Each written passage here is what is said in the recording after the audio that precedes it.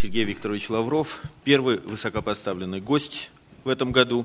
Думаю, это символично и соответствует тому высокому уровню союзнических отношений, который существует между Арменией и Россией.